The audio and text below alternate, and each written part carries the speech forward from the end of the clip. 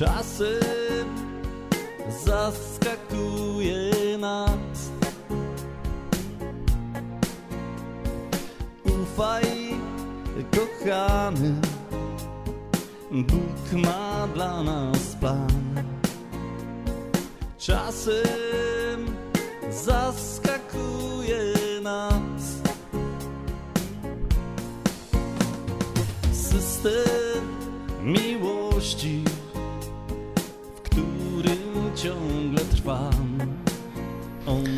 Witam serdecznie wszystkich w systemie miłości Matki Najświętszej, Ojca Pio, Franciszka z Asyżu i całego nieba. Dzisiaj może od razu pomodlimy się za nasz naród, za Kościół w Polsce, który zawsze będzie, Ojciec Pio mówił, tylko będzie odnowiony, będzie inny całkiem. Kościoła, naszego dziedzictwa narodowego nie można zniszczyć, a komunizm próbuje to zrobić. To im się oczywiście nie uda, ale a tak jest. Na nasze największe symbole, na naszych wspaniałych przywódców Jana Pawła II jest ogromny atak. Niesłuszny oczywiście, bo to wszystko jest wyciągane. Wszelkie zło, nawet kiedyś ojciec Pio mi tak powiedział, że człowiek jest taki, że nawet nikogo jeszcze nie, nie widział nikogo, nie zna tego człowieka, już potrafi o nim źle powiedzieć, a tym bardziej służby bezpieczeństwa i komunizm, bo tak cały czas robił, jeden na drugiego donosił, więc cała ta lewica to jeden na drugiego donosi i jeszcze chce źle dla naszych wzorów i ideałów. Oni nie chcą ideałów, bo komunizm znaczy demoralizacja. Lewactwo i liberalizm znaczy demoralizacja, bo wtedy się lepiej rządzi, wtedy lepiej, więcej można zarobić. Tak samo jak różne grupy seksualne takie są w PO, no to oni ogromne pieniądze na tym zarabiają, celebryci. I to jest właśnie ta demoralizacja młodych ludzi. Chłopaki ze wsi przyjadą, myślą, że zarobią duże pieniędzy, pieniędzy na tym, a to cienko, cienko. Niestety, nie jest tak za seksiem, no nie, już niewiele płaci, ale, ale niestety biznes jest lewacki. No pewno, że każdemu się zdarza, bo jak już mówiłem, wszystko to zależy od tego, jaki jest rozwój wewnętrzny człowieka. Jeśli to jest prowadzone przez duchowość, przez system miłości na przykład, przez uniwersalną wiedzę o Bogu, o, o życiu, o kosmosie, o naszej duszy i o naszych zmysłach i o ciele, to wtedy takie rzeczy się nie dzieją, bo my rozumiemy, po co są te zmysły, dlaczego i co one odzwierciedlają. Wszystkie nasze zmysły odzwierciedlają potrzeby duszy, tak naprawdę. Ale w tym świecie duszy nie widzimy. Nikt nie widzi duszy. Nikt. I Boga też nikt nie widzi. To, co inni tam mówią, ezoterycy, to zapomnijcie o tym, bo to są kłamcy. Więc dusza chciałaby dużo i dusza jest delikatna, chce, ale jeśli jest w ciele, no to jest zasłonięta właśnie ciałem, tak jak ojciec nam mówił, i ma na zewnątrz zmysły w, tym, w ten świat wypuszczone. A w tym świecie, no niestety jest walka, o walka o byt, walka o przetrwanie, o rozmnażanie, wszędzie jest walka i te wszystkie nasze zmysły, kubki smakowe, dotyk, smak, jest bardzo wrażliwe i niektóre części ciała nasze, szczególnie ta poniżej pasa, są nadzwyczaj wrażliwe i łatwo to wykorzystać dla, dla właśnie dla biznesu. To są takie używki prawie jak narkotyki. Seks w wydaniu takim właśnie homo nie wiadomo, to jest właśnie narkotyk tak naprawdę. On powie, no tak jest. Chociaż widzicie, w Niemczech domy publiczne są legalne, w Polsce jeszcze na razie nie i mam nadzieję, że nie będą. Bo to jest tylko przetwarzanie zmysłów, a dusza zupełnie jest marnowana. Dusza nie chce się wyżywać zmysłowo, ona chce wyższych doznań, mistycznych, większych, większych zmysłów, a nie takie jak ludzkie. Ludzkie zmysły do niczego nie prowadzą. Poza tym te ludzkie zmysły jeszcze mm, wytwarzają jad w postaci egoizmu, pychy i to mm, w powiązaniu z naszymi zmysłami to może być mieszanka putinowska, wybuchowa. No niestety, tak jest i dlatego są wojny gangów, wojny mafii i innych rzeczy przez zmysły. Tylko przez, dzięki, przez te zmysły, które właśnie wywołują pychę. A te zmysły tak naprawdę to jest jakby odzwierciedlenie naszej duszy, bo dusza chce, chce przyjemności. Dusza jest stworzona dla przyjemności tak naprawdę. Ale w warunkach polowych, czyli kosmicznych, no, jest ciężko, bo tu są interesy. nie ma takiego bogactwa odchcenia. W niebie, jak już mówiłem nieraz, ojciec podkreślał, że tam się nic nie musi, nic nie potrzeba, tylko się chce. I mamy to zapisane w, mm, w kodzie duszy i chcemy to przerzucić na ten świat. Jeśli to przerzucimy na ten świat, to jesteśmy ugotowani. Bo nic się nie spełni, tylko właśnie przez walkę, przez, mm, przez rozbijanie się okciami, przez agresję do innych, zabieranie, kradzenie i wymuszanie. I manipulacja oczywiście, no, ogromna manipulacja biznesowa, materialistyczna, bo nie da się spełnić marzeń duszy w tym świecie. Tutaj musi być moralność, musi być opanowanie, bo inaczej komuś, kogoś skrzywdzimy. Taki jest ten świat. Miał być piękny po wyjściu z nieba, a okazuje się, że nie jest piękny. Dlatego przychodzą tacy wspaniali, hmm, wspaniałe postacie z nieba, jak Jezus i Maryja. Właśnie mamy dzisiaj sobota które pomagały i pomogły wielu osobom y, zbawić się i zrozumieć, po co się tu urodzili i dlaczego. Jezus mówił, jeśli się powtórnie nie narodzicie z wody i z ciała, czyli reinkarnacja, nie wejdziecie do Królestwa Niebieskiego. Bo trzeba się powtórnie narodzić i wewnętrznie, i zewnętrznie. Skoro już jesteś takim złym, no to się nie naprawisz za tak szybko. Jak już masz takie mm, złą historię, złe, złe przejścia poprzednich żyć albo już w tym życiu, wpadłeś w jakiś komunizm, no to będziesz żył jak komunista, jak Lenin, który jeszcze nie jest w niebie. Ojciec mi o nim mówił, że on nie może się uwolnić przez swoje pisma i przez to, co działał, bo ludzie go wspominają. Więc ja tu też mu chyba przyczyniam się do tego, że on nie może iść do nieba, bo o nim czasami mówię. Ale to jako przykład, ale Raczej nie, tak nie jest, bo ja nie żyję Leninem, tylko ci, którzy żyją Leninem, czyli to cała nasza opozycja to żyje właśnie tym, tym komunizmem, no to mm, przecież wiecie, że TVN to też jest stworzony przez biznesmenów komunistycznych, przez służby bezpieczeństwa. To jest telewizja służb bezpieczeństwa.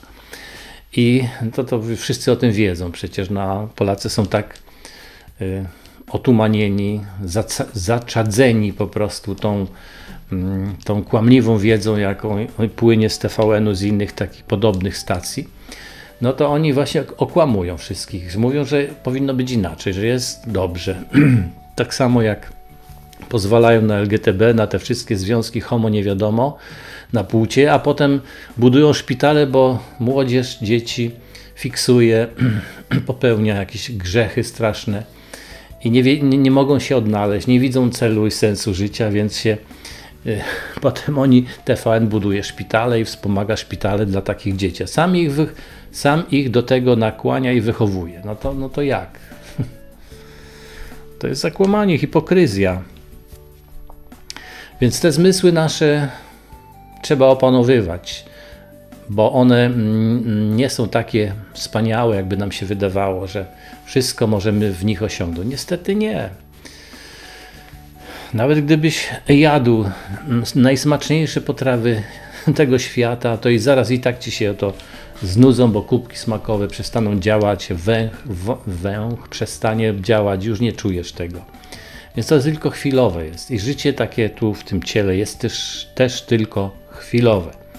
I musimy pokazywać drogę do wieczności, do idei wieczności. To, co mówił Platon, że o swoich ideach i mówi, że oryginalne takie porównanie dał. Ja czasami to mówię o tym, bo niekiedy nowi przychodzą, słuchają.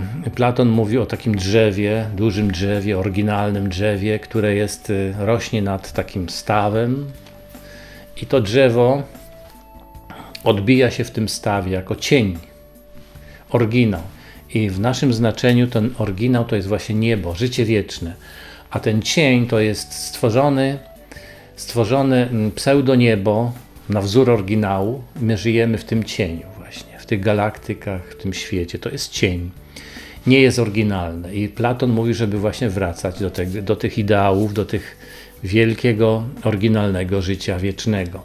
Bo tu żyjemy tylko chwilowo i w cieniu. Czyli nic to wielkiego tutaj nie możemy oczekiwać, bo bo nic się tu takiego wielkiego nie spełni. No choćbyś miał nie wiem jakie bogactwa. Zobaczcie jakie Putin ma bogactwa, jego, jego koledzy mają ogromne bogactwa. Niediedew przecież to samo. No i co, są szczęśliwi? I co jest z tych bogactw? Często za przeproszeniem galotami, żeby mm, im to nie, nie, odebrali, żeby społeczeństwo im to nie odebrało, bo oni ukradli to oczywiście wszystko. Zarobili lewe pieniądze, lewe faktury, wszystko na lewo. To skradzione pieniądze, oszukali całe społeczeństwo. Putin razem z tym swoją generalicją, ogromne pieniądze. We wsiach bida, wody nie ma, studnia, wychodki na zewnątrz, a on tutaj bomby sobie produkował i, i w luksusach żyje. A teraz to nawet gdzieś tam w, w podziemiach, bo się boi. No to, to jest szczęśliwy, no ma bogactwo i tak jest nieszczęśliwy. Więc to nie w tym bogactwo ducha trzeba mieć i zrozumienie życia Zrozumienie celu to daje szczęście, a nie materia. Materia nie daje szczęścia. Chwilowo tylko, tak samo jak te twoje kubki tutaj smakowe. Na chwilę tylko. Najesz się i potem już żałujesz, że już tyle zjadłeś, bo cię brzuch boli z tego jedzenia. I jeszcze, jeszcze się śpiący robisz, bo całą energię pochłania żołądek na strawienie tego, a mózg senny się robi, bo całe dokrwienie idzie do żołądka, a nie do mózgu. No tak, takie tutaj mamy zależności. Dobrze, to pomódlmy się za nasze, nasz naród, za Jana Pawła II. Dla niego nie trzeba się modlić, bo on jest w niebie, bo wiem, wiemy o tym, bo już miał kontakt bezpośredni z niebem pod koniec życia, to nam ojciec Pio mówił. Więc y, tylko mu prośmy go, żeby nam pomógł, żeby pomógł tym lewakom się zbawić, zrozumieć życie, bo oni nic nie rozumieją. To są takie taki mm, ciemny motłoch, że tak powiem. Anielski oczywiście, anielski motłoch, ta lewica cała i to PO. Y, oni nie mają wyższych celów, oni mają cele przyziemne, czyli takie robaczkowe. Ich interesują robaki, różne przyziemi i kamyczki. I potem w tych kamyczkach wylądują y, za parę lat, bo to każdy tam ląduje w sumie w grobie. Więc módlmy się w naszych sprawach, wkładamy do koszyczka Ojca Pio wszystkie rzeczy, wszystkie nasze przyjemności, wszystkie nasze kroki, cierpienia, e, choroby i, i zdrowie też wkładajmy, żeby innym pomagać, bo innym trzeba pomóc, bo są dusze, które są w większej potrzebie niż my. Ogromnie. Dużo większych potrzeb mają niż my. Więc módlmy się za nasze sprawy, za sprawy innych, za sprawy Polski, narodu, naszej suwerenności, aby nas nie zaatakowali, żeby Putin sobie odpuścił, Łukaszenko, żeby też sobie odpuścił i wszyscy źli materialiści, którzy chcą zła dla, mm, dla Boga w Polsce. Oni chcą zła, oni chcą wykluczyć Boga, wykluczyć wszystko ta nowoczesna, która się przekształciła, to też takie jedno wielkie dziadostwo. Strasznie, oni są straszni po prostu. Przykro mi z tego powodu, bo, mm, bo akurat mój kolega mm, Stani, Stasiu Obirek, który też był jezuitą, wydał taką plugawą książkę z jakimś kolegą swoim na temat Jana Pawła II też, bo go wyrzucili w sumie tego zakonu, zmusili go, żeby sobie sam poszedł, bo krytykował strasznie. Wydał książkę i teraz właśnie ta pani Wielgus i inni oni tam z nimi rozmawiali, w gazecie wyborczej się tam gdzieś pojawia. No to jest właśnie, robi złą robotę, no ale nie był świadomy, do czego to może dojść. do krwawych ekscesów nawet może dojść przez to. Bo to jest walka w tej chwili ateizmu z Bogiem. złej wolności, niedobrej wolności mm, z piękną wolnością, z pięknym, szlachetnym podejściem do życia. Oni są w niewoli, a my chcemy wolności i oni chcą nam narzucić swoją niewolę. Tak nie może być. Musimy się przeciwstawiać. Zło dobrem zwyciężać trzeba. Tak jak mówił Jan Paweł II, nasz ukochany brat, którym mam też, też zdjęcie z nim, kiedyś wam już pokazywałem, może jeszcze pokażę, jak był na Kopernika 26. Wtedy jeszcze był chyba biskupem, czy już kardynałem, już nie pamiętam. W każdym razie miał odprawiać tam mszę, był na, na święcie Bożego i Serca Jezusowego. No i tam ktoś pstryknął zdjęcie, jestem tam niedaleko jego. Ja już wtedy pisałem swoje pisma. Dobra, to módlmy się. Jan Paweł II też już rozmawiał z ojcem Pio. Wtedy ja rozmawiałem, on też, ale myśmy się tak jakoś nie, nie znali w tym sensie, że nawet słowa nie zamieniłem nigdy z Janem Pawłem II, ale i przez panią Krysię, żeśmy się znali tylko. Więc y, modlimy się modlitwą świętego Franciszka z Asyżu o pokój w Polsce i na świecie. O Panie, uczyń z nas narzędzia swojego, Twojego pokoju, abyśmy siali miłość tam, gdzie panuje nienawiść, wybaczenie tam, gdzie panuje krzywda, jedność tam, gdzie panuje rozłam, prawdę tam, gdzie panuje błąd, wiarę tam, gdzie panuje zwątpienie, nadzieję tam, gdzie panuje rozpacz, światło tam, gdzie panuje mrok, radość tam, gdzie panuje smutek. Sprawa, byśmy mogli nie tyle szukać pociechy, co pociechę dawać. Bo ci wszyscy z LGBT to szukają pociechy, szukają zmysłów, szukają wyżycia, a to nie o to chodzi. I jeszcze pieniądze z tego ogromne i, i niszczenie sumień młodzieży. Tu chodzi o to, żeby pociechę dawać, żeby szlachetność dawać, dobroć. Nie tyle szukać zrozumienia, co rozumieć, nie tyle szukać miłości, co kochać, albowiem dając otrzymujemy, wybaczając zyskujemy przebaczenie, a umierając rodzimy się do życia wiecznego. To jest modlitwa świętego Franciszka z XII-XIII wiek. To dobrze. To teraz jeszcze Wam przeczytam Maćka, wiersz, jakieś rozważanie króciutkie.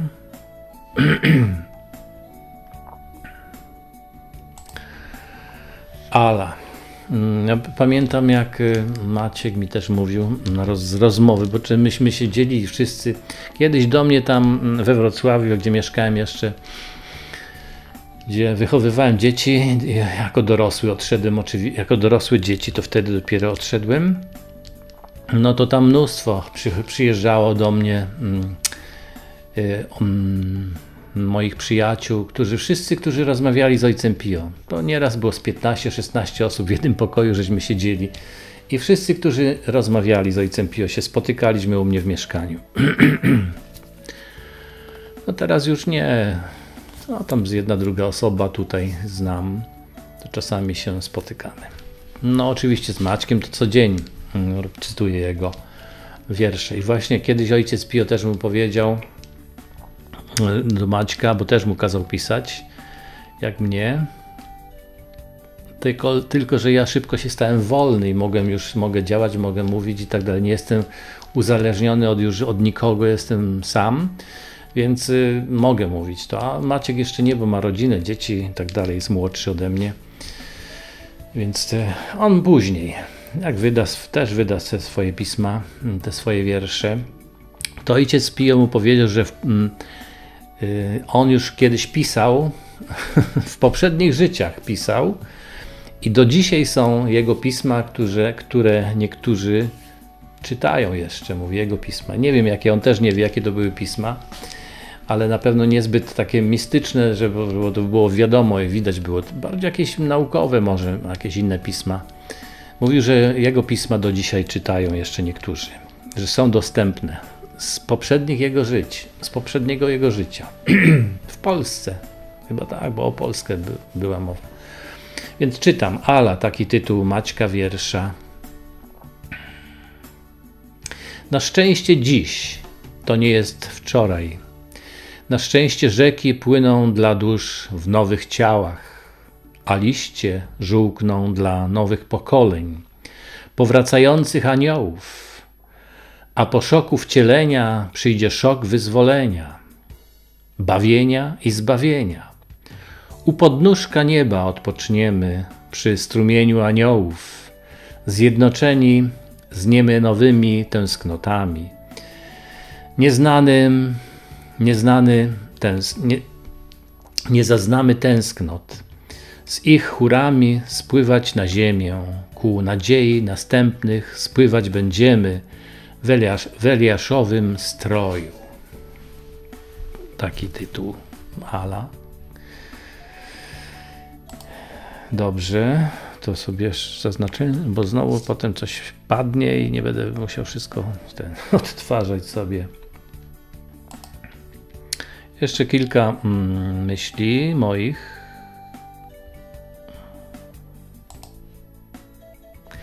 Pamiętacie, to, to jest pierwszy tom. Drugi to jest tamten tom. To są podobne okładki, ale inne. Oj, tu ojciec Pio, tutaj um, Ilonka Swat ze Szwecji namalowała tego anioła.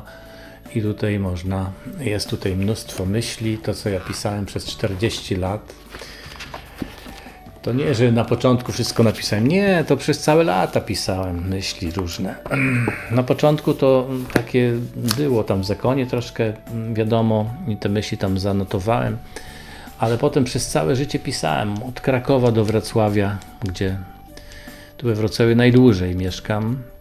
W Krakowie 6 lat i tam cały czas pisałem tak samo. I tutaj we Wrocławiu to non-stop pisałem. To nie, że miałem już gotowce i tak dalej. Nie, tam pewne rzeczy poprawiam, zmieniam, ale nowe cały czas pisałem tak samo, myśli, wiersze. Może kiedyś jeszcze coś napiszę, zobaczymy. Na razie muszę skończyć ten trzeci tom. Przede wszystkim trzeba pamiętać, że jesteśmy uwięzieni w nieoryginalnym ciele Dlatego mamy tyle kłopotów życiowych, fizycznych i psychicznych. Dusza zupełnie jest niepo, niedopasowana do tak niekomfortowego ludzkiego ciała. Nawet Jezus miał problemy z ciałem, też nie pamiętał, uciekała mu pamięć, no jak wszystkim nam. Tu nie ma ludzi, którzy by wszystko wiedzieli i wszystko pamiętali. Nie ma takiej możliwości. Prawie nikt nie ma dobrej pamięci. A ojciec dodał jeszcze, że już wszyscy na tyle chorują psychicznie, duchowo, że już powinni się leczyć u psychiatry. no dosłownie tak mi ojciec. Już, już na tyle jesteśmy chorzy, że powinniśmy swoje nerwice i umysły e, już leczyć u lekarzy. Dobrych lekarzy. to już mamy tak, tak nad, nadżarte nasze, mm, naszą pamięć, nasze rozumienie życia, bo no, dużo w nas egoizmu, zaborczości, narzucania swojego, a to przecież jest wszystko złe, to jest antyduch. Matrix to jest antyduch. Nawet Jezus miał problemy z ciałem. Niekiedy uciekał przed ludźmi, denerwował się, bał. Ojciec mówił, że Jezus się denerwował, bo nawet pytałem kiedyś, czy Jezus się denerwował. Ojciec Pio mówi, że oczywiście, że się denerwował. Uczył się robić krzesła i inne rzeczy, bo nic nie umiał przecież. To wiem od ojca Pio. Był prześladowany za innowacje w myśleniu. Kapłani żydowscy go dopadli ostatecznie zmasakrowali. Ciało kosmiczne zawsze jest niekomfortowe i problematyczne. Trzeba je zmieniać na oryginalne. Unia Europejska wcale tego nie rozumie i promuje ciało śmiertelne. Za to, za tę niefachową wiedzę trzeba potem zapłacić kolejnym cierpieniem. Tak to jest reinkarnacja i w koło Macieju. Dlatego ojciec Pio mówił mi, że ten czyściec trwa prawie w nieskończoność, bo nie odpuszczamy. Mówiłem o tym chyba już ze sto razy, ale nadal o tym przypominam. Przyznam, że nie mam najlepszej wiedzy. Nie ma, nie mam lepszej wiedzy, dlatego tylko tą właśnie się dzielę z wami. Tak napisałem taką myśl. Jeszcze jedną myśl. tu coś będzie o chrzcie. Ojciec Pio też mi mówił, że powinni się chrzcić tylko dorośli, nie dzieci, bo to jest już taka manipulacja. Od razu jest skazany na chrześcijaństwo, na katolicyzm. To też nie jest dobre. Tak samo komuniści swoich, tak samo dawali legitymację do partii od razu, tylko skończył coś, wszystkich do partii przekupywali. Kościół robi podobnie, to źle. Tak nie powinno być. Mam wątpliwości dotyczące chrztu niemowląt. Każdy powinien sam decydować, kim chce być i co wyznawać. Jezus do niczego nie zmuszał, nawet ani jednego kościoła nie wybudował. Namawiał jedynie do dobra i miłości. Dobro i miłość sama nas wyprowadzi z braku refleksji i z tego kosmicznego pseudożycia. Bo życie w kosmosie to trup. Każdy w nim tak właściwie kończy, jako trup. Jezus, nawet piękny anioł z nieba, musiał tak samo skończyć. W chrzcie ojciec Pio mi powiedział, że o chrzcie, że każdy dorosły powinien decydować, gdzie chce być. Był przeciwnikiem chrzczenia przy urodzeniu, tak jak święty Paweł. Czy święty Paweł się mylił w tej kwestii? Akurat nie, bo święty Paweł się cieszył, że nie ochrzcił, tylko chyba trzy osoby ochrzcił, czy, czy cztery, coś takiego. I dziękuję Bogu, że nie chrzcił. no to widzicie, no. A Kościół robi nam na tym kasę i zdobywa potencjalnych wyznawców. Islam czyni tak samo.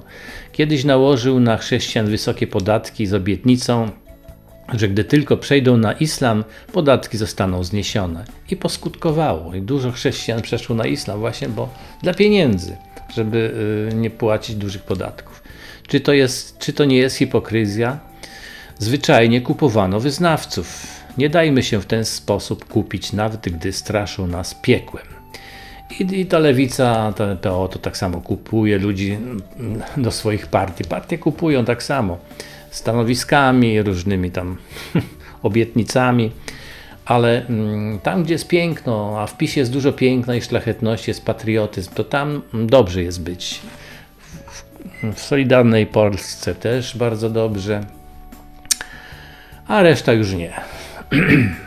Chociaż muszę pochwalić PSL, bo ostatnio właśnie głosował za przyjęciem tego oświadczenia o Janie Pawłem II w parlamencie naszym. To akurat im trzeba przyznać i oddać szacunek za to. A ci z PO siedzieli i karty powyciągali, lewica nie głosowała.